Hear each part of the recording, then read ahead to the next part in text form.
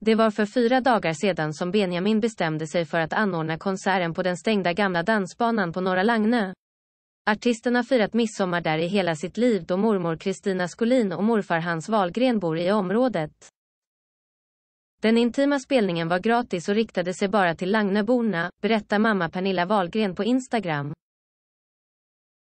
Han ville ge lite kärlek tillbaks till platsen där han tillbringat så mycket tid, och varje midsommar sedan han var barn, skriver hon.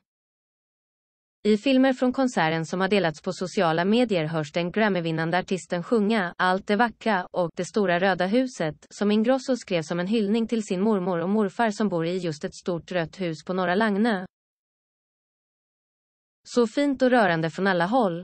Otroligt fin och minnesvärd kväll för oss alla som var där, skriver Pernilla på Instagram.